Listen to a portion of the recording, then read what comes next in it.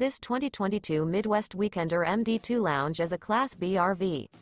It is located in Fort Worth, Texas, 76117 and is offered for sale by Vogt Family Fun Center.